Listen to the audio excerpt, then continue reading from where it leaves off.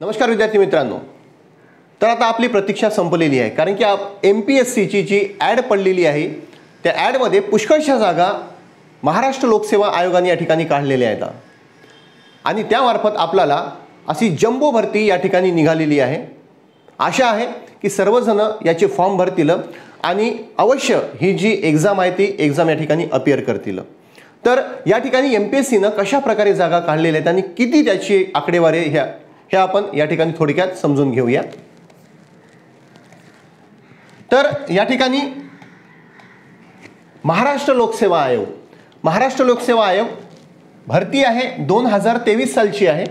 आणि या याच्यापैकी जे गट ब आणि गट क याचे जे काही संयुक्त पूर्व परीक्षा दोन हजार तेवीस रविवारी होणार आहे त्याची तारीख आहे तीस एप्रिल दोन हजार तेवीस. आणि महाराष्ट्रातील सदतीस जिल्ह्याच्या ठिकाणी ह्या एक्झाम जे आहेत ते पार पडणार आहेत. आणि विशेष म्हणजे की एकूण पदभरती आहे आठ हा हजार एकशे एकोणसत्तर म्हणजे आत्तापर्यंत एम पी एस सीनं एवढ्या जागा काढल्या नव्हत्या. इतिहासामध्ये ही सर्वात मोठी आणि जम्बो भरती आहे. कारण की एम पी एस सी मार्फत जास्तीत जास्त दोन हजार किंवा तीन हजार जागा आत्तापर्यंत निघालेल्या आहेत आणि आताची जी जागा निघलेली आहे जी ॲड पडलेली आहे ती सर्वात जास्त जागा या ठिकाणी एम पी एस सीनं काढलेल्या आहेत तर त्यापैकी आपण थोडंसं त्यामध्ये माहिती करून घेऊया की कोणत्या किती जागा येतात ते. तर या ठिकाणी सहाय्यक कक्ष अधिकारी म्हणजे की आपण त्याला काय म्हणतो A S O A S ओच्या जागा निघाल्या आहेत त्या ठिकाणी सत्तर जागा निघालेल्या आहेत या ठिकाणी. त्यानंतर म्हणजे पूर्ण मिळून हे एवढ्या जागा आहेत लक्षात घ्या. त्यानंतर राज्य कर निरीक्षक म्हणजे S T I S T आयच्या जे जागा निघालेल्या आहेत ते एकशे एकशे एकोणसाठ जागा या ठिकाणी आहेत त्यानंतर P S I police sub inspector. याच्या जागा निघालेल्या आहेत तीनशे चौऱ्याहत्तर. तीनशे चौऱ्याहत्तर या ठिकाणी या जागा निघालेल्या आहेत त्यानंतर दुय्यम निबंधक श्रेणी एक म्हणजेच त्याला आपण एस आर असं म्हणतो आणि त्या जागा आहेत महसूल आणि वन विभागाच्या.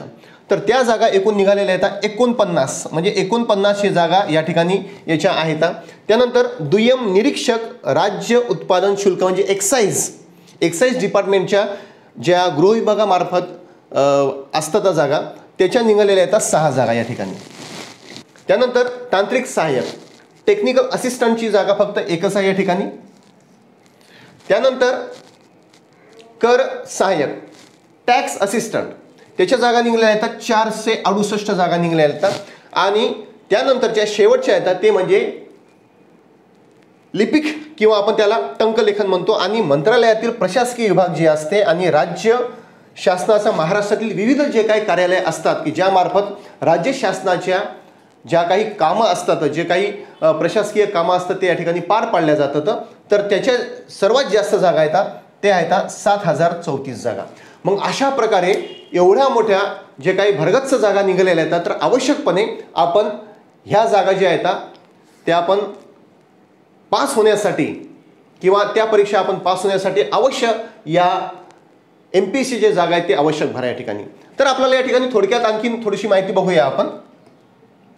की खरंच ह्या ज्या काही परीक्षा असतात त्या परीक्षा आपण कशा प्रकारे पार करता येईल? कारण की आता आपल्या हाती किती राहिले आहेत? फक्त तीन महिने राहिले आहेत. म्हणजे फेब्रुवारी हा तर महिना गेलेलाच आहे. फेब्रुवारी मार्च आणि एप्रिल. तर या तीन महिन्यामध्ये आपण व्यवस्थितपणे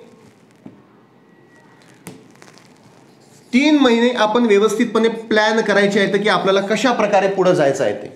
कारण की ह्या इतिहासामधील सर्वात मोठ्या जागा येतात आणि आपण काय झालेलं आहे की तीन चार वर्षापासून जागेची वाट पाहत आहोत की जागा केव्हा निघतात ते.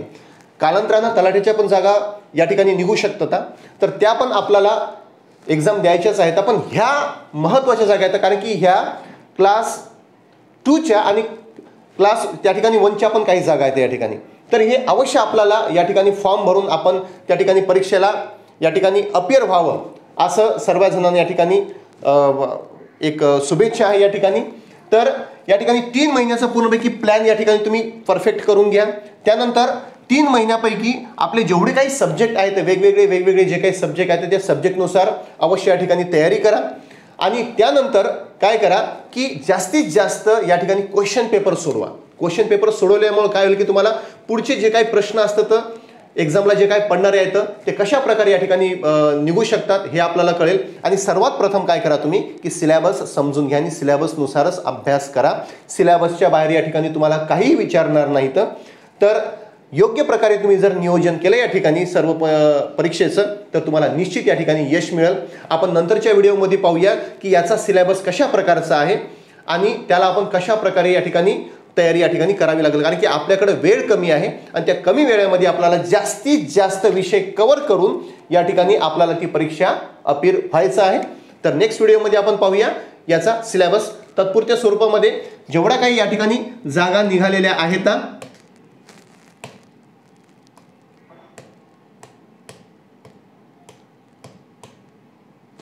जेवढ्या काही जागा निघालेल्या आहेत ह्या जागा तुम्ही या ठिकाणी समजून घ्या. की किती जागा निघालेल्या आहेत ते? आठ हजार एकशे एकोणसत्तर जागा. आणि या पूर्णपैकी जेवढ्या काही जागा निघालेल्या आहेत या जागेनुसार आपण पूर्णपैकी या ठिकाणी तयारी करावी लागेल. कारण की सर्वांसाठी एकच फॉर्म या ठिकाणी कंबाईन आपल्याला भरायचा आहे. आणि या ठिकाणी गट ब आणि गट कच्या जागा येतात एवढं लक्षात ठेवा.